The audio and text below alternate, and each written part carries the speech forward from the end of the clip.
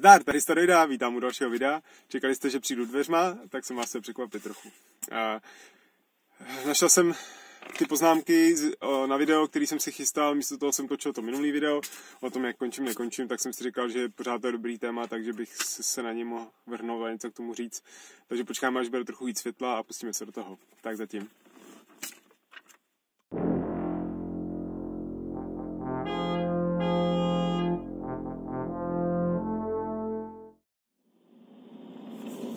Má nalepený, to je ortela?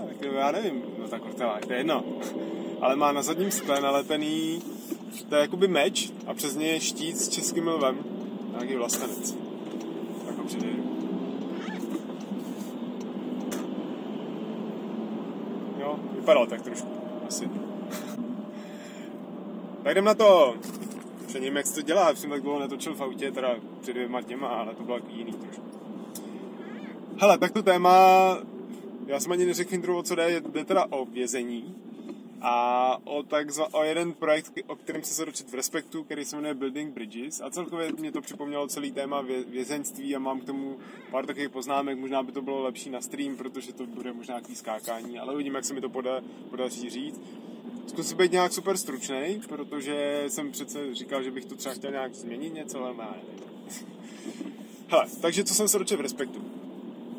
Existuje projekt, který se jmenuje Building Bridges a dělá ho neziskovka, pro, samozřejmě proklínané neziskovky, ty jsou tak k ničemu, jenom nám okrádají o peníze naše, nás a mě eh, dělají tady nějaké ideologie, no to je jedno. To je nějaká křesťanská katolická neziskovka, která dělá projekt Building Bridges, což je projekt eh, ve věznicích, kde se sejdou dohromady vlastně nějaký vězni, nebo ty zločinci, co něco spáchali, s oběťma ale ne přímo s jejich oběťma, k tomu se ještě dostanu, ale prostě s někým, kdo, kdo se stal obětí podobného činu, co spáchali ty vězni.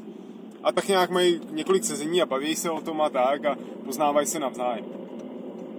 A fakt, uh, jaký jsou z toho teďka zkušenosti, takový, že to prostě funguje úplně geniálně nebo geniálně. Prostě to funguje parádně, protože opravdu oběma těm stranám to pomůže, jo. Tam byl popisovaný příběhy nějaký ženský, kterou třeba, když byla nějak mladá, tak jí prostě nějaký uchyl otravoval někde, ani nebyla znásilněná, jo, nebo něco takového, ale prostě stejně to pro ní byl tak jakoby dramatický zážitek a, ona, a ještě dramatičtější pro ní bylo to, že to nikdy ne, nikomu já vlastně neřekla, když to zkoušela a celý 30 let s tím žila a nějak si to vracelo.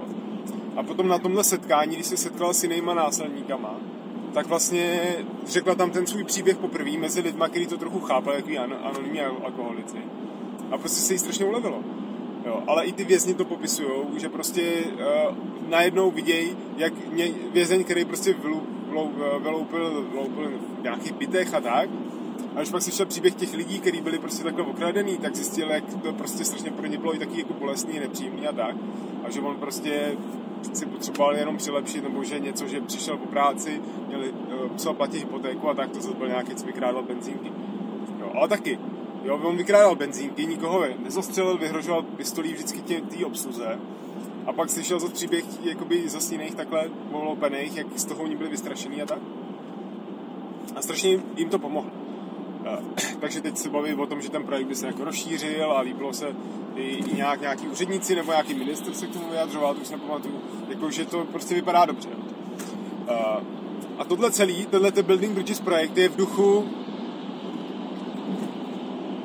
v duchu takzvané restaurativní justice, což je něco, co prý na západě strašně frčí a my prostě jsme tady zastydlí a ještě to pořádně neumíme, i když se o to snažíme. Uh, což je jakoby přístup k tomu vězenství, který není jenom o tom, že si zavřeme ty zločince prostě někam mimo tu společnost, aby tady nás neohrožovali, ale že asi se s nimi snažíme nějak pracovat, aby, aby oni už, aby se polepšili, aby to nepáchali znova. Třeba v České republice je 70% vězňů jakoby recidivisti jsou, jo. Že se tam ty lidi prostě vracejí, jo. A to je prostě špatně, že? Takže tohle je ta restaurativní justice. U nás funguje institut takzvaný mediace. Myslím, že to bylo ono, jo. Uh, to jsou ty moje názory a nečetl jsem spis, to je. To znamená, to je něco podobného, ale v té mediaci se setká přímo ten zločinec s tou svojí obětí. Jo. A dá se to jakoby používat v rámci té, ne, obhajoby v rámci toho soudního řízení nebo v rámci toho, že si, chce, že si chceš třeba zkrátit pobyt ve věznici, tak o to můžeš požádat. protože to ukáže, že máš vlastně nějaký dobrý úmysly trochu, aspoň si chceš se polepšit, ale skoro se to moc, moc se to nepoužívá, protože za se o tom neví. Ani ty advokáti pořádně to nenabízejí těm vězňům.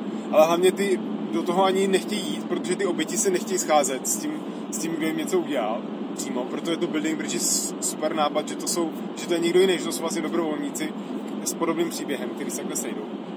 A a to, ta mediace, no a nechci si takhle scházet a naopak zase ty vězni to spíš dělají jenom jakoby uh, pragmaticky nebo tak vypočítavě, že jim to zlepší nějaký skóre, tak se jako na to třeba nahlásí, ale je to prostě, je to, nefunguje to. Uh, takže to je ta restaurativní justice a za mě je to super, já se ještě pak v závěru dostanu k tomu, jakoby, co teda s vězením má. Ale já mám vlastně o tom vězení trochu širší rozhled, ne přehled, ale tohle téma, já nevím proč, no proč, protože to je prostě, všichni vědí, co je vězení. Tak je to téma, na kterým asi přemýšlel někdy vždycky někdo, vys tresty smrti, ale takže o tom mám jakoby různé myšlenky, jo. A jsem, mám k tomu, mám na vězení takový názor, takový jakoby trošku posunutý, jo. Protože mně se prostě nelíbí ten systém, jaký je teď, který očividně prostě jako nefunguje, stojí daňový poplatníky prostě spoustu peněz a ty lidi se do toho vězní vracejí, vůbec to není jako trest, ty lidi to tak kolikrát asi ani nevnímají. A teďka ten soudní systém je prostě divný, jo, že buď jsou průtahy, nebo jsou, je pak někdo špatně, někdo je obviněný, že jo, ne, neprávem, pak má zničený život z toho. A celý, tenhle, celý tohle téma je prostě strašně postavený na hlavu, jo. A chtělo by to nějak trošičku narovnat, takže jako nemyslím si udělat nějakou revoluci, ale aspoň nějaký malý změny. No, to je jedno, jak tomu se ještě dostanu. První, co mě napadá k tomu, když jedna z věcí, co si vybavuju vězení, je z knížky Timothy Learyho, což je guru LSD a tyhle ty hippies generace. A to byl psychiatr a oni samozřejmě zkoumali tyhle ty psychoaktivní látky v rámci psychiatrie. A zkoumali to i na vězních. Měli normálně reálně funkční jakoby studie nebo experimenty s vězněma, který dělali jakoby dlouhodobě v různých věznicích že byla prostě nějaká skupinka právě vězňů, eh, kterým uspořádali tohle sezení s LSD, což se dělalo hodně jakoby propracovaně, protože takhle ty, ty se s těma uh, psychedelikama má správně fungovat, nějaký se tam setting a tak, už jsem o tom mluvil ve videu o drogách a tak. A oni opravdu jakoby udělali sezení s těma, uh, s těma vězněma, dali jim to LSD, vyvolali u nich jakoby pozitivní zážitek s tím, protože můžeš mít pozitivní, negativní, trip a trip. A a nějak s nimi jakoby terapeuticky pracovali a měli prostě brutální úspěšnost, co se týče právě té recidivy. Jo. Že prostě asi 70 účastníků, když to takhle vystřelím, eh, nevím přesně, tak to byli recidivisti, asi si brali přímo ty, tak 70% z nich už prostě se nikdy do toho vězení nevrátilo, prostě se jim změnil život. To je to, co jakoby ty psychoaktivní látky dokážou dělat. A samozřejmě u někoho to nevyšlo, jo. ale když máš ty standardní jakoby, postupy v tom věznici v té doby, tak prostě se fakt většina vracela zpátky těch recidivistů. A jen málo z nich se z toho dostalo, takže měli mnohem větší úspěšnost než jakýkoliv jiný tehdejší metody jakoby práce s těma vězněma, ale potom prostě se celá tato scéna uh, schytala prostě špatný, špatný review. Prostě se z toho stalo něco, co nechtěla vláda, tak? A celý výzkum drog v psychiatrii šel uh, do pryč a teď se to znova jakoby vrací, že? Další takový alternativní eh, věc o těch eh, věznicích mám zase od Duška, že jo, Dušek Guru, protože mi se strašně líbilo, jak on vyprávěl o tom, jak jakoby řeší zločince, třeba indiáni, jo, to zase takový dlouhé vyprávění, kdo ví, jak to přesně je. Nám se to líbilo jakoby tak příběhově, jo. Že vlastně, když se, že obecně mezi indiánama se takovýhle věci, jakoby nějaká, nějaký zločiny, že se jako moc nedějou. Že prostě tam ta komunita funguje líp a to je i v komunitách obecně a na vesnicích to je taky něco jiného a na malých městech. Jo, to mě připomnělo, jak někdy v tom Uherském Brodě nebo kde, jak nějaký ten týpek vystřelil tu hospodu. To bylo docela hodně smutná událost. Tak to taky jako strašně zarezonuje v tom městě malým a takhle to i působilo z těch zpráv potom. Že to působí jinak než někde, třeba v velkém městě nebo tak jakoby obecně. Takže to je v těch komunitách a je to u těch indiánů.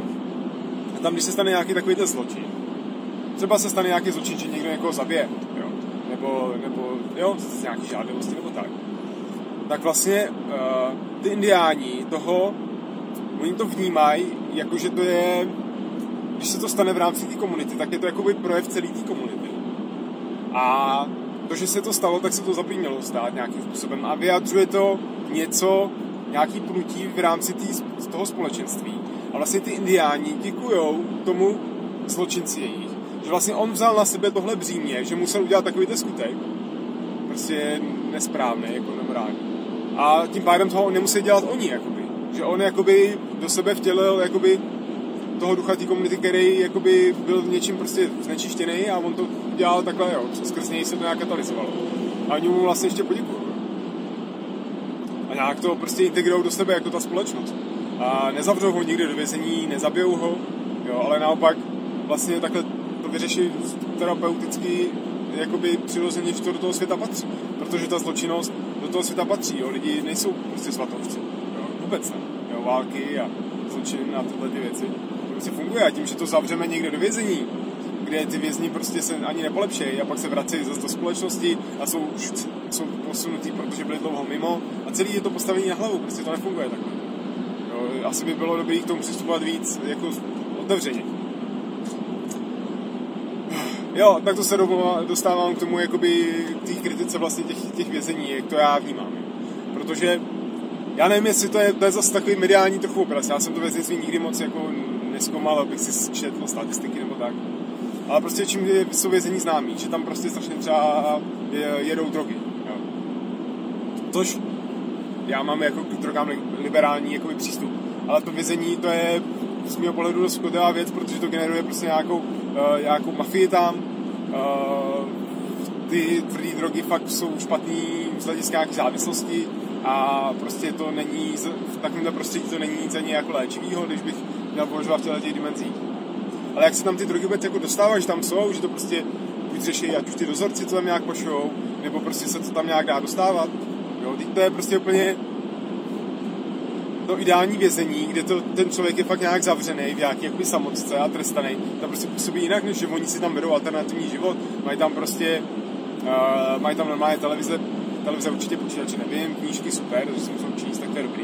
Ale kdybych já tam dal knížky, tak tam dám nějaký prostě jakoby manipulativní knížky, které jakoby povedou k tomu, že ty lidi se nad sebou zamyslejí. A fakt bych to nějak řídil jako důsledně, tak nevím, jak to je přesně. Ale tak to ještě v knížky, to není ten hejt. Ale že tam mají třeba mobily, že jo, to se furt řeší že tam někdo někomu propašoval, že tam mají prostě mobil, můžou se domlouvat, takže je tam zavřený nějaký post třeba. A ten se domlouvá skrz mobil a řídí si furt dál ten svůj biznis a až se za pár let vrátí, tak to bude prostě všechno jako fungovat. Že? A zase na druhou stranu mít mobil a být v kontaktu třeba se svými blízkými, aby by v rámci té jako terapie toho vězně taky. No a ještě brutální velký problém ve věznicích. A to teďka sdílel jenom Heraldolf něco, že o tom bylo nějaký video, uh, jsou vlastně znásilnění ve věznicích, jakoby mezi těma chlapama. Což je taky takový ten, jakoby, co se tak jako v těch věznicích říká, vtip, prostě, že ti spadne mejdlo na zem. Jo, ale to je prostě strašně brutální věc, jako. A taky hodně jako nešťastná. A potom se vlastně, jako to se taky nějak neřeší. Jo, ale tohle prostě generuje tohleto prostředí mužský, když já beru ty mužské věznice, nevím, jak to je v ženské. Uh, který je prostě úplně nepřirozený z hlediska nějaké společnosti. Prostě tam vládne prostě úplně smečko, smečkovitá jako atmosféra, nějaká hierarchie. Ty tam jsou ty dozorci a vězni, ale to jsou dvě strany jedné mince, protože dozorci taky jakoby, tak jak policajti a zločinci, jo, to jsou, uh, jsou si strašně jakoby podobný v mnoha věcech. No. Nadarmo se dřív jakoby uh, ze zločinců stávali policajti potom, nebo nějaký jako tajný a tak, jo, protože znají to prostředí ale i ty dozorce to nějakým způsobem uh, deformuje, nebo když chce někdo jít do vězení, tak už tak musí mít prostě nějakou na to náturu. A to prostředí je tak jako nepřirozený, že vůbec nevěřím tomu, že může být jakkoliv prostě pořádně léčivý pro ty lidi. A když se někdo jakoby tam jakoby neléčí, no dobře, když se někdo jako polepší, že za prý aspoň nedělá jako recidivu, že se zase nejde do vězení, ale že si nějak jako napraví trošku život a dá se dokupy, tak to jsou snad jenom lidi, kteří to přímě chtějí sami od sebe a nějak se k tomu dopracují a to vězení jim ještě hází klacky pod nohy. Jo. Že kdyby třeba byli zavřený, já nevím, doma nebo něco, tak by jim to nakonec zafungovalo třeba líp, nebo kdyby měli nějaké alternativní tresty. No a tím se dostávám k závěru. Co teda z mého pohledu dělat s vězeníma? A to beru z pohledu, že ne, bych nechtěl dělat nějakou revoluci ve stylu duška indiánů, že budeme najednou svý jako milovat nebo něco takového. Ale prostě teď máme nějaký stav a a nějakým způsobem s ním pracovat. Jo. A potom je ten největší problém je to, uh, jak jsou ty věznice, jak jsou přeplněny.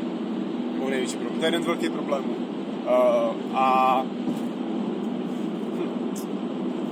No to je asi ten první, jako to jediný, co bych řešil, dá se říct. Jo. Já to, to jediný, co tady mám je napsaný. Jo. Ale jakoby říkám si, když jsou nějaký další problémy s tím, tak jakoby za jsou složitější na řešení, věc jakoby, uh, to, že to jsou teda samý chlapy a generuje to nepřirozený chování.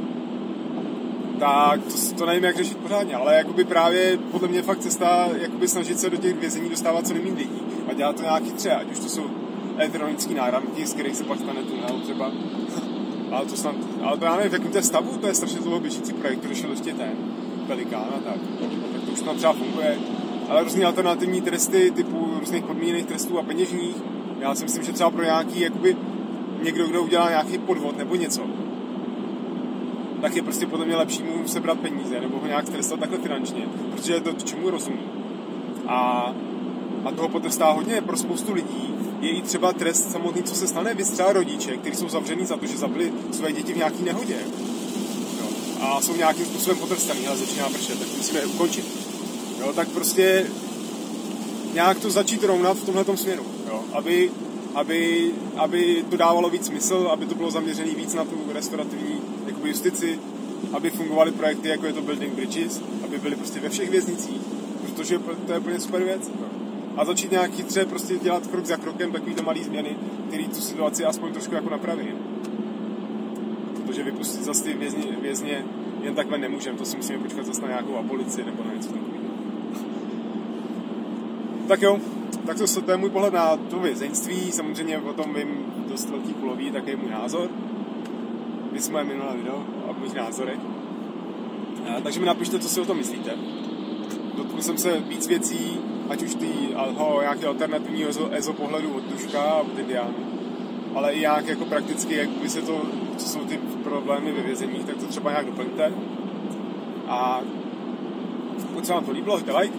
Pokud se tady mě poprvé což na tomhle tématu, nevím, jestli se může stát, ale tak klíčový slova řeším vždycky tak se podívejte na moje další videa pokud se vám to líbí, tak zvažte odběr, protože si myslím, že to stojí za to samozřejmě, jinak bych to nedělal.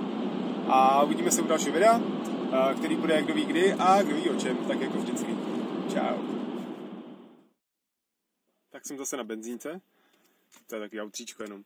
A jenom prostě chci pravit nadšení, kdo jezdíte autem, protože si toho všimnul, už se o tom i psalo, že konečně začínají padat ceny paliv nevím, co se změnilo na geopolitické scéně, ale, ale už, tyjo, už to bylo skoro za 35 korun, teď už 32,50 tankovat, takže super.